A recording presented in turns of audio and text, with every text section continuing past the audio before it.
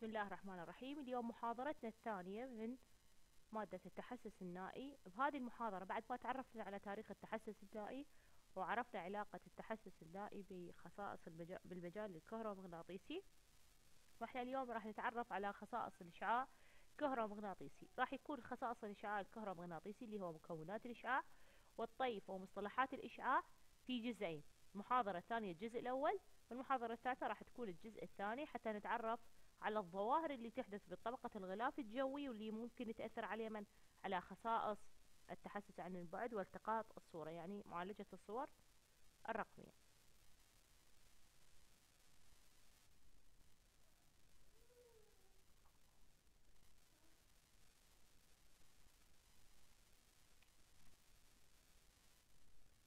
نجي أول مرة نتعرف عن يمن على خصائص الإشعاع الكهرومغناطيسي لازم نعرف عن الخصائص حتى نعرف طريقة تفاعله مع سطح الأرض.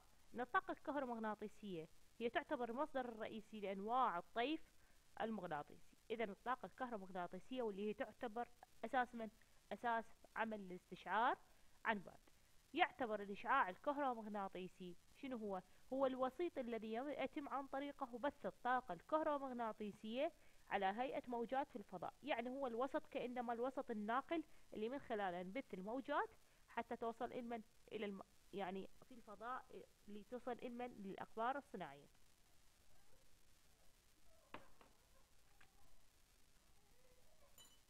يعني هي إيش تعتبر؟ يعتبر الوسيلة أو الوسط الناقل إلمن للأشعة الكهرومغناطيسية.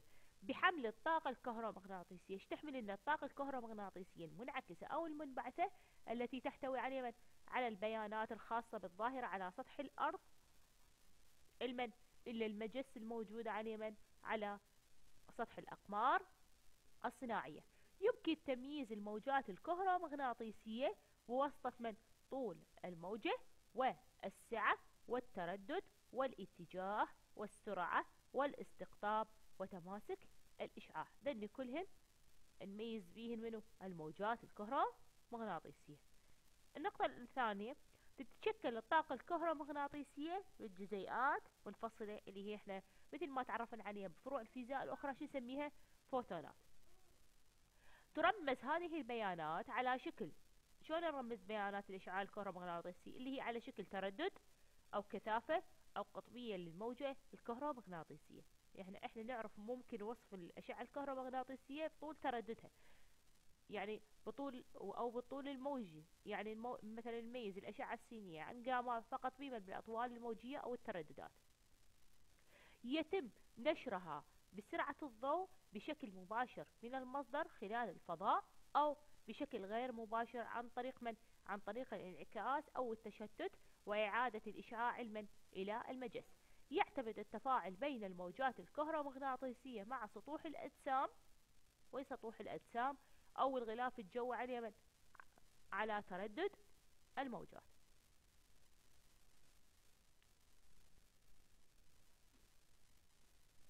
نجي نتعرف بعد ما تعرفنا على خصائص الإشعاع كهرومغناطيسي لازم نعرف مكونات مكوناتنا المكونات الإشعاع. الإشعاع منين يتكون؟ يتكون الإشعاع الكهرومغناطيسي بالحقنين مثل ما معروف عنه هو الحقن الكهربائي اللي هو نسميه E ويقع دائما بمن؟ في الاتجاه العمودي على المسار والذي يمر فيه الإشعاع.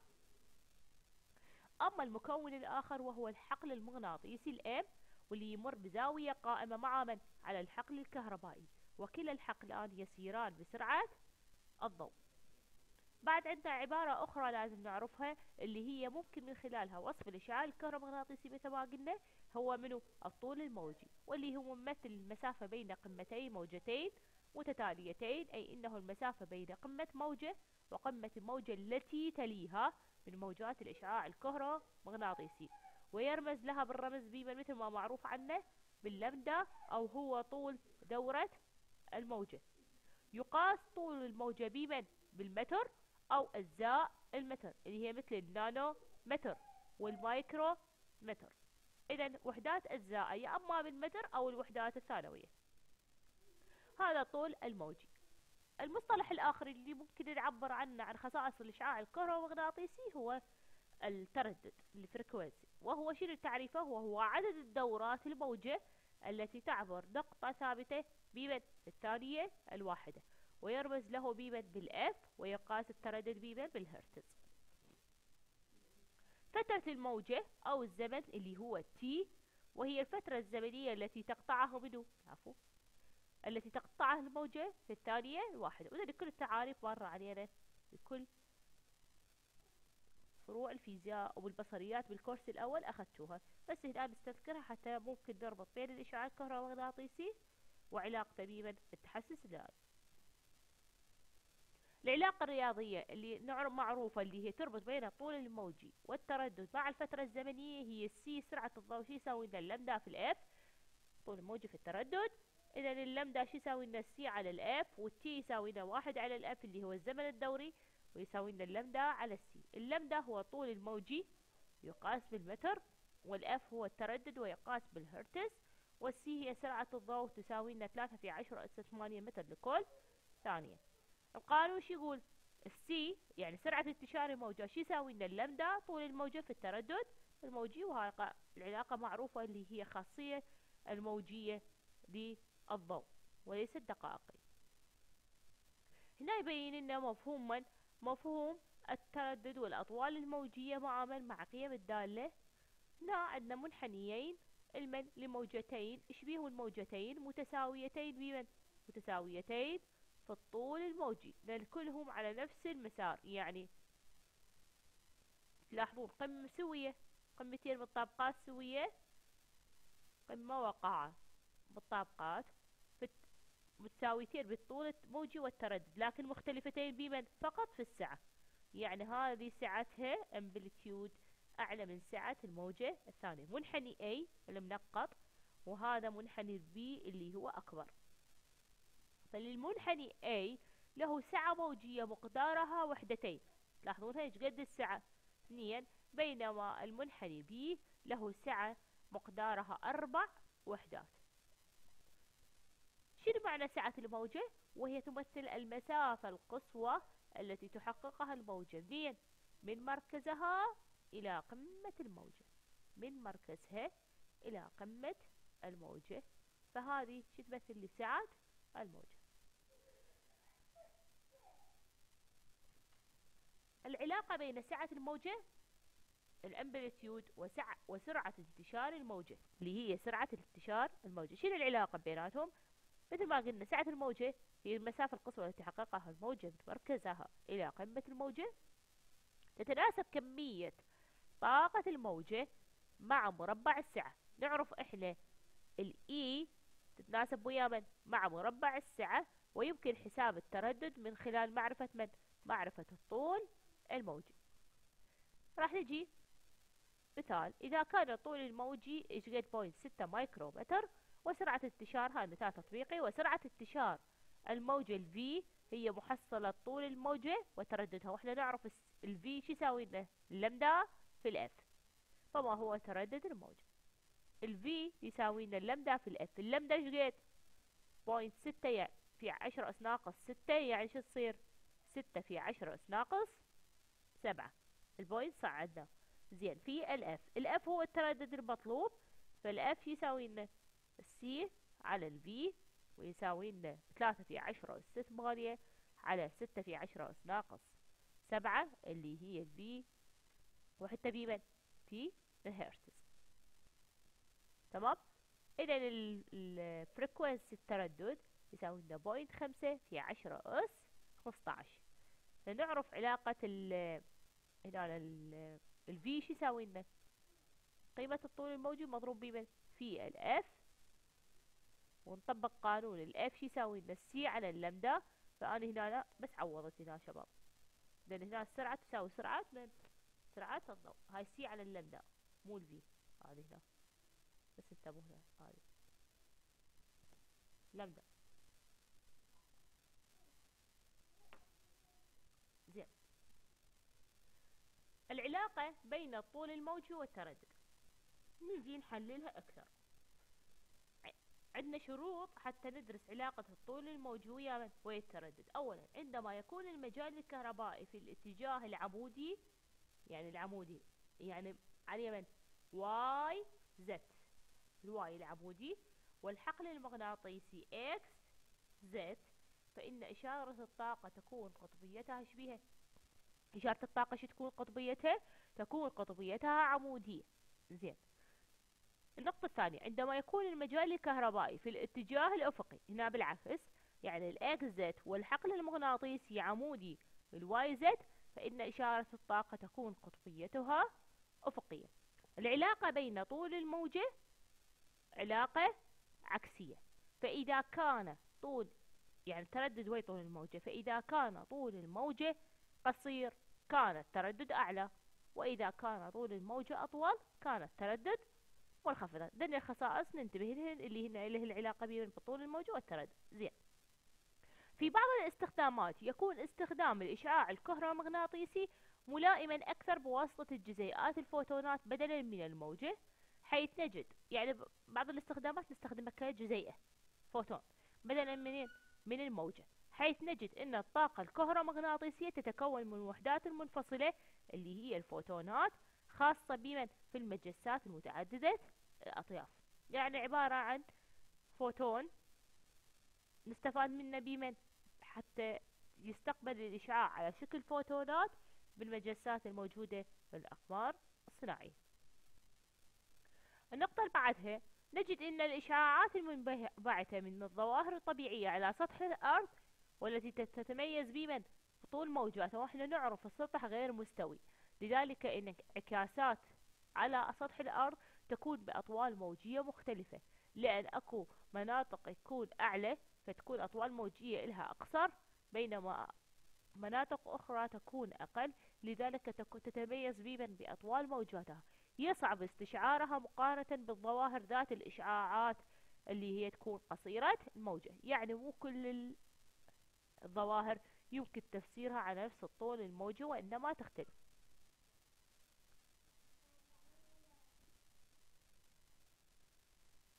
نجي هسه هنا هذا الرسم يمثل العلاقة بين طول الموج والتردد.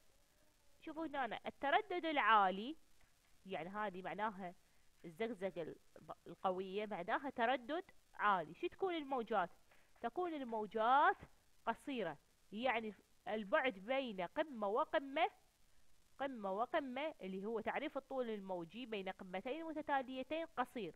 يعني تردد عالي طاقة عالية معناها شنو؟ موجات قصيرة. يعني طول الموجي إلها قصير. أما بهذه هنا الموجات تكون بين قمة وقمة طويلة فيكون تردد الطول الموجي طويل فتكون طول موجي طويل وتردد منخفض. وإذا كان تردد منخفض تكون الطاقة منخفضة فبذلك يكون الإشعاع غير مؤذي لجسم الإنسان. أما إذا كان التردد عالي يعني الطاقة عالية فهنا تكون المناطق فيها؟ المناطق مضرة لأن تردداتها عالية طاقتها عالية ممكن تؤدي جسم البشري. وعليه فإن كمية الطاقة المحملة بالفوتونات وبطول موجي محدد تعريف آه، أو قانون كمية الطاقة المحملة اللي هي نسميها؟ راح Q. Q. كمية الطاقة Q شو يساوي له؟ H في F اللي هو ثابت بلانك في ال F في التردد وال F شو يساوي؟ له C على اللمدة نمكن نطلع اذا ال Q إلمن هو نحسب طاقة الفوتون وتقاس بالجول وال H ثابت بلانك يساوي لنا ستة point ستة اثنين ستة لعشرة ناقص أربعة وثلاثين جول على ثانية. ونعرف إحنا الأطوال الموجية وسرعة الضوء في عشرة ثواني تتناسب ال Q طاقة الفوتون عكسيا ويا من؟ مع الطول الموجي مثل ما شفنا بالرسم. كلما كان طول الموج طويل شو تكون الطاقة الطاقة منخفضة فالعلاقة عكسية فكلما كان طول الموج أطول كان محتوى الطاقة أقل. نجي هسه تعرفنا على خصائص الإشعاع الكهرومغناطيسي. راح نتعرف عليه من؟ على الطيف الكهرومغناطيسي. ميزوا بين الإشعاع والطيف. تعتبر الشمس المصدر الرئيسي لمن؟ للإشعاع الكهرومغناطيسي. وهاي إحنا كنا نعرفها. توجد أنواع أخرى من إشعاعات الطاقة الكهرومغناطيسية غير الشمس. الشمس اللي هي ممكن تتحسسها للعين البشرية اللي هو الطيف المرئي إلا أنه الإشعاعات الأخرى غير مرئية للعين المجردة مثل الأشعة القصيرة الميكرويف والأشعة تحت الحمراء والأشعة الفوق البنفسجية والأشعة السينية وأشعة جاما. لأن كلهن موجودات بالطيف الكهرومغناطيسي أو إشعاعات الطاقة الكهرومغناطيسية لكن غير مرئية. يتكون الطيف الكهرومغناطيسي من عدة نطاقات طيفية. يعني هذا الطيف يكون مثل الخانات مقسمة. يسمونها نطاقات. بدءا بالموجات ذات الأطوال الموجية القصيرة هذا الطيف كله اللي هو يبدأ بدين الطيف من أشعة جاما أشعة سينية إلى الموجات ذات الأطوال الموجية الطويلة اللي هي الميكرويف وموجات الراديو. هذا الطيف الكهرومغناطيسي اللي هو من ضمنها الطيف المرئي. الإشعاع الكهرومغناطيسي هي الإشعاعات اللي من مثلها الشمس توصل للعين.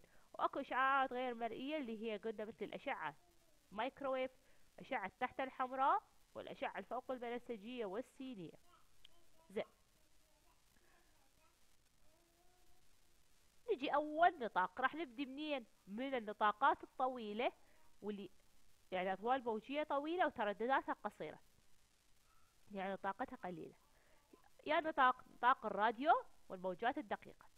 يغطي نطاق الراديو الأطوال الموجية التي يكون طولها الموجي بديا أطول من 3 سنتيمتر بتردد أقل من جيجا 3 جيجا هرتز. هذا نطاقه. يغطي نطاق الميكرويف المناطق المجاورة الدقيقة يعني. المناطق المجاورة لنطاق الراديو يعني اللي بصفها كلش.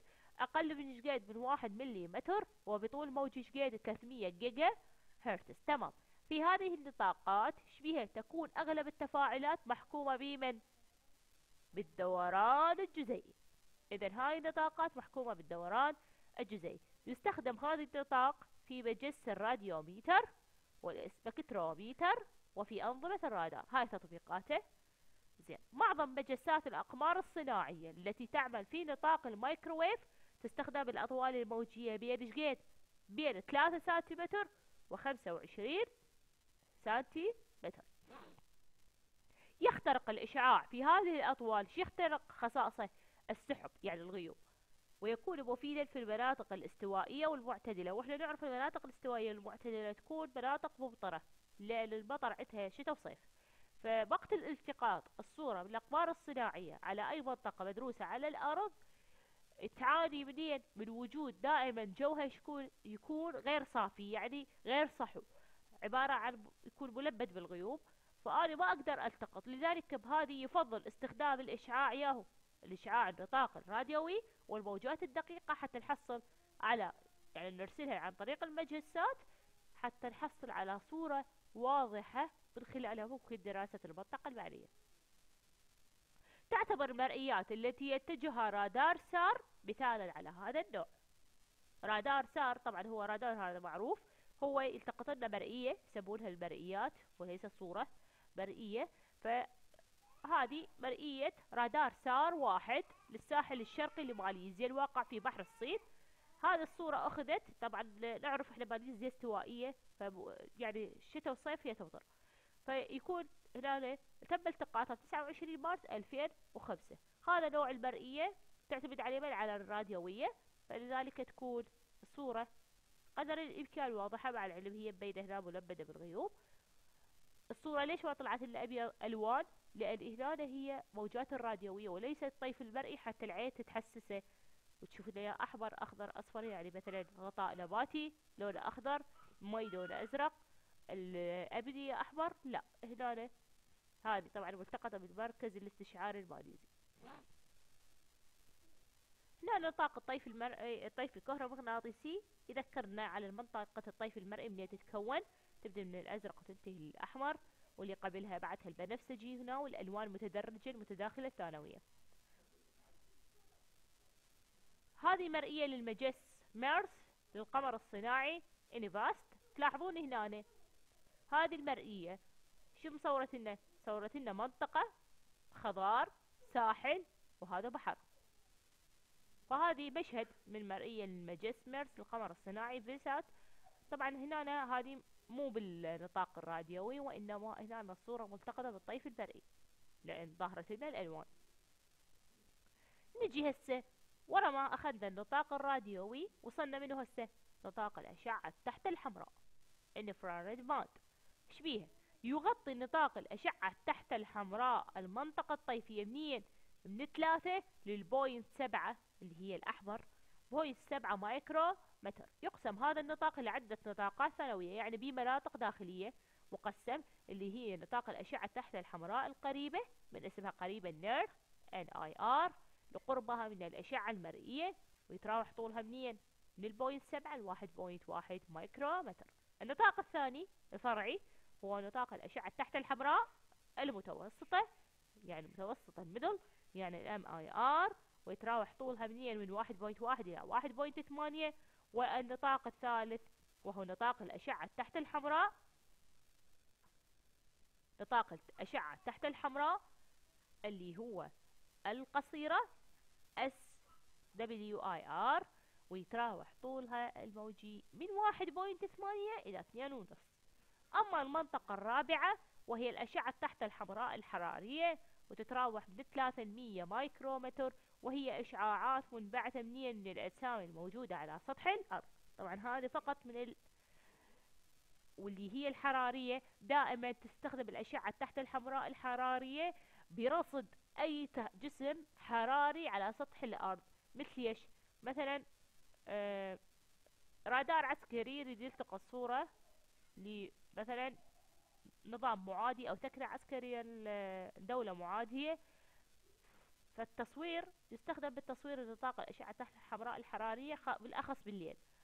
فهم شلون يصورون؟ مثلا يشوفون كم شخص داخل هذه الثكنة خلف الأبنية.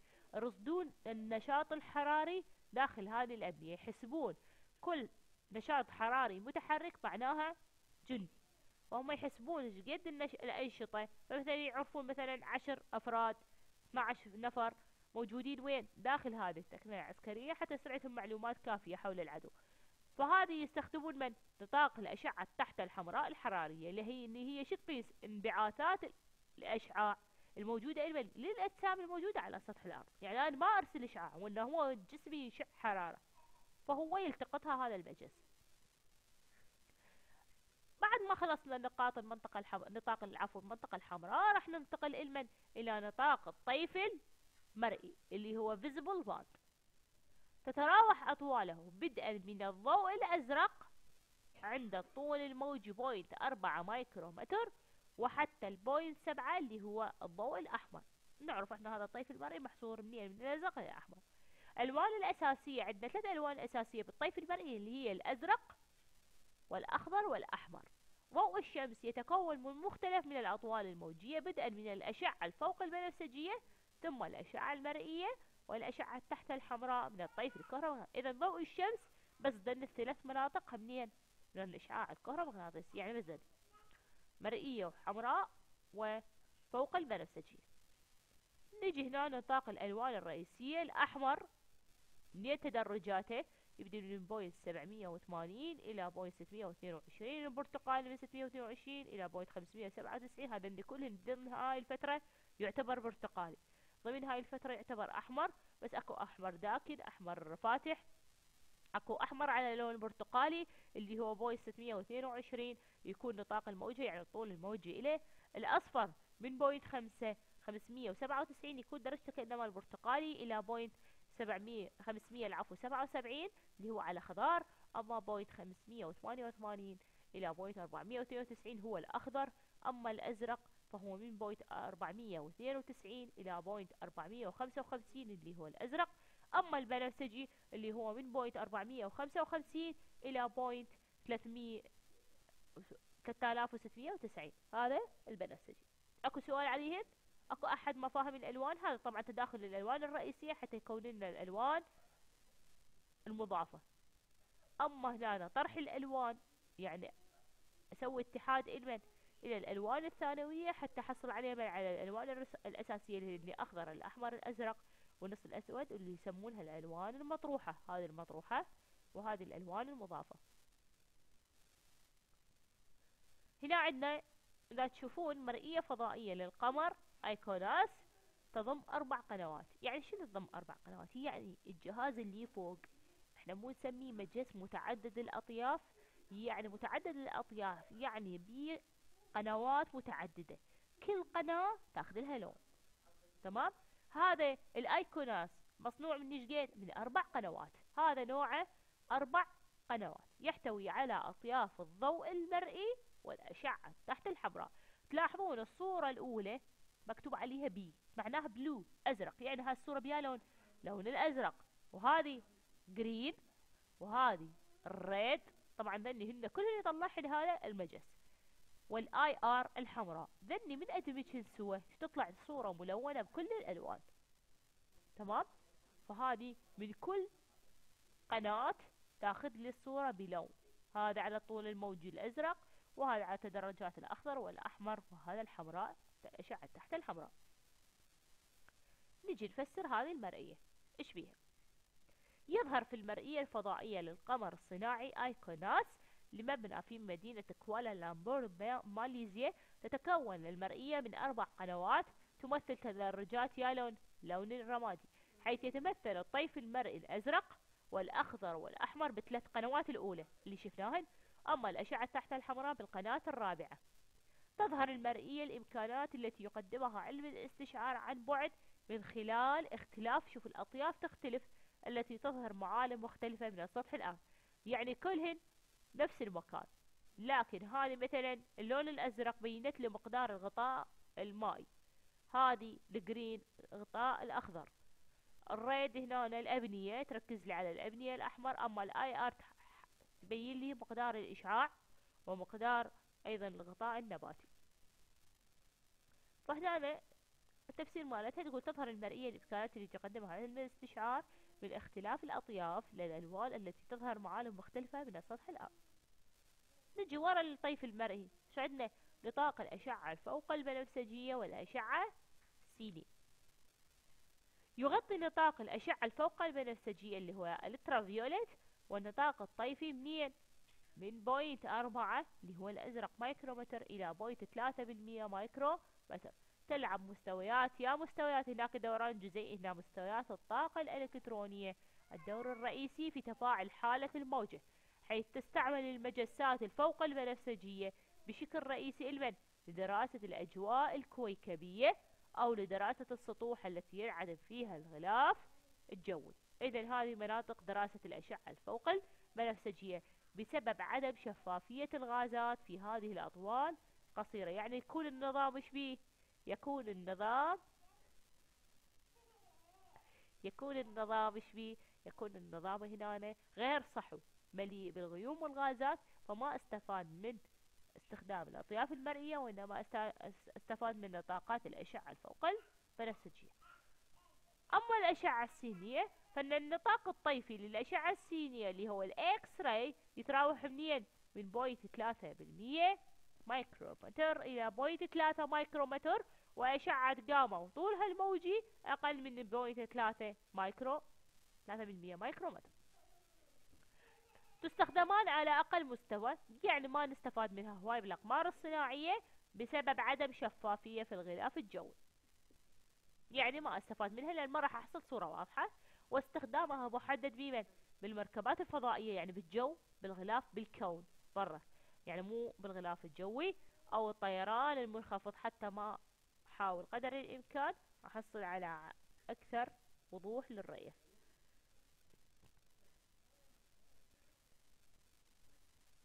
هنا صورة رقم سبعة. هي مرئية فضائية. تم تصويرها بواسطة أشعة جاما لحوض رسوبي قديم باستراليا. هاي هنا حوض رسوبي هذا الحوض. يعني المعالم اللي تاخذها هنا طبعا هنا الصورة ملتقطة بمسافة قد؟ عشرة كيلو. متر إلى المستخ... وصل التصوير المنخفض. نجي للنطاقات ونوعية التفاعل مع من؟ ملخص مع الغلاف الجوي.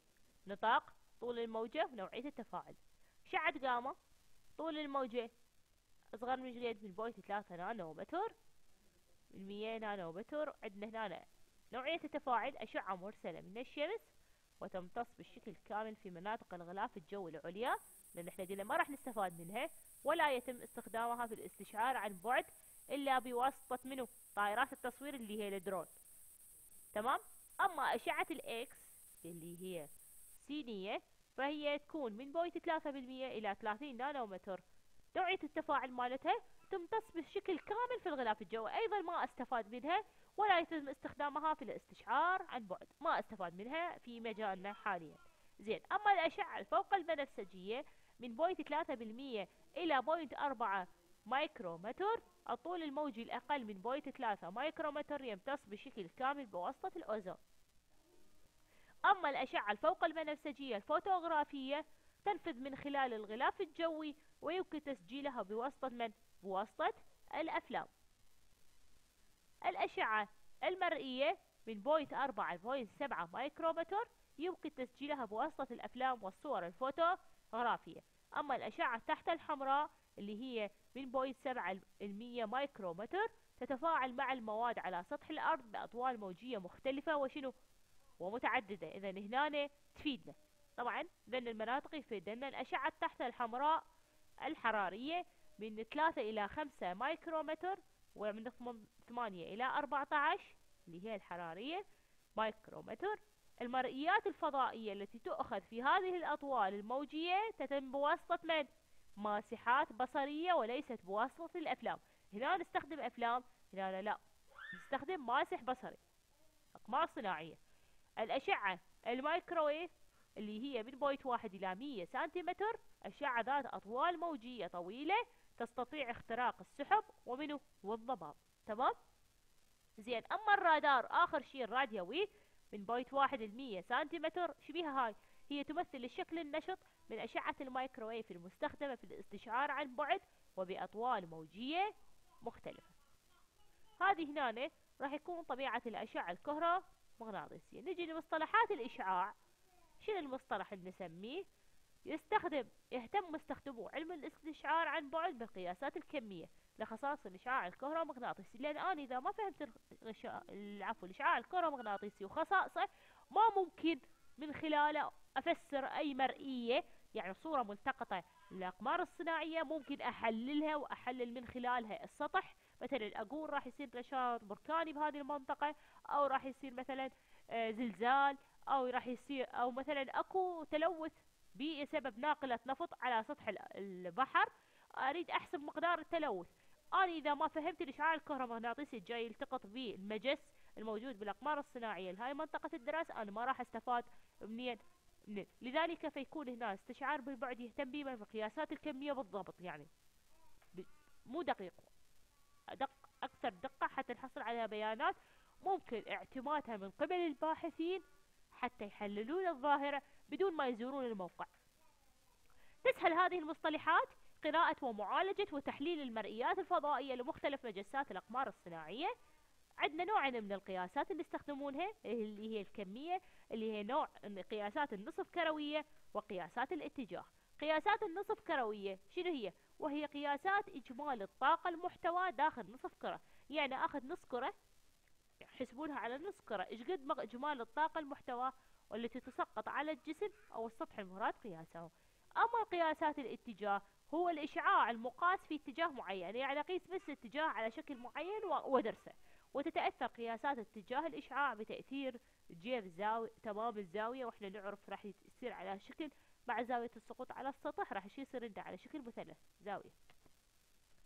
هنا راح تكونون وهنا النصف وهنا شبه اللي الإشعاع النصف كروي وهنا اتجاه الإشعاع. هذا اتجاه الإشعاع أقيس وراح يصير عنده زاوية والجيب أما النصف كروي هو أجمع الإشعاع على نص كرة سقط على منطقة الدراسة. هذه من أريد أحلل منه من أريد أحلل الإشعاعات اللي ناتجة لمنطقة دراسة معينة. تمام. نجي بعد مصطلحات لازم نعرفها بالإشعاع. الكهرومغناطيسي هي أولا طاقة الإشعاع. تعرف؟ وهي كمية الطاقة التي تحملها الموجة الكهرومغناطيسية وتعتبر مقياسا لقدرة الموجة عند التفاعل مع السطوح. وحدة قياسها بمن؟ بالجول أما طاقة الإشعاع الطيفي التي تشير إلى قياس كمية الطاقة لطول موجي محدد. قيس كمية الطاقة بس المد من اسمه طيفي يعني لطول موجي محدد فرق عن الأولى بالأطوال الموجية. الدفق الإشعاعي هو معدل تدفق الطاقة المشعة. تمام؟ المنبعثة أو المنقولة أو المستقبلة. إحنا عندنا أكو جسم يبعث وأكو جسم يستقبل وأكو جسم وسط ينقل. فهو كلهن ذن نفس الشيء معدلهن كلهن. على هيئة إشعاع كهرومغناطيسي من نقطة معينة أو سطح معين إلى سطح آخر خلال زمن محدد وحتى بيمن الدفق الإشعاعي بالواط ذنيش بالجول وهاي بالواط نجي ورا الدفق الإشعاعي آكو عندنا مصطلح آخر يسمونه كثافة الدفق الإشعاعي. من اسمه كثافة؟ أكو حجم بيها. فمن نقول كثافة الدفق الإشعاعي هو عبارة عن حجم الدفق الإشعاعي الساقط على سطح ماء المنبعث مقسم على من؟ على مساحة. إذا هو حجم الدفق الإشعاعي مقسم على مساحة السطح وحتى بيمن أيضا بالواط مصطلح آخر راح يمر علينا بالإشعاع بالإشعاع هنا بالتحسس هو شدة الإشعاع. شنو هو شدة الإشعاع؟ وهو عبارة عن الدفق الإشعاعي المنبعث من نقطة المصدر والمار بزاوية المجسم المخروط الصلب في الاتجاه المقاس. يعني بالنسبة لزاوية الصلدة يسمونها. مقدار الدفق الإشعاعي. أما الإشعاع شنو هو الإشعاع وهو عبارة عن الدفق الإشعاعي المشع من وحدة مساحية المضروب بالمساحة وحدة مساحية على سطح والتي ينظر إليها من خلال زاوية المجسم المخروطي مصمم ثلاث الأبعاد. في الاتجاه المقاسي يعني هذه الإشعاع هو عبارة عن حاصل ضرب شدة الإشعاع ويا من؟ مع من؟ مع كثافة من؟ مع كثافة الدفق الإشعاعي. أما الإشعاع الطيفي اسمه طيفي؟ وهو عبارة عن الإشعاع المن لكل وحدة طول. يعني أخذ الإشعاع وقسم عليه من على طول الموجي راح يصير وحدة واط لكل متر. هنا أنا الرموز والمصطلحات راح تشوفون هنا قواعدها الصيغة الرياضية مالتها. طاقة Q مثل ما عرفناها بالجول اللي هي Q شو يساوي لنا؟ الطاقة H في بي في الأف. تمام؟